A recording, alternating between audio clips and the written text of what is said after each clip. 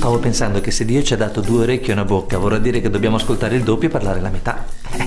no.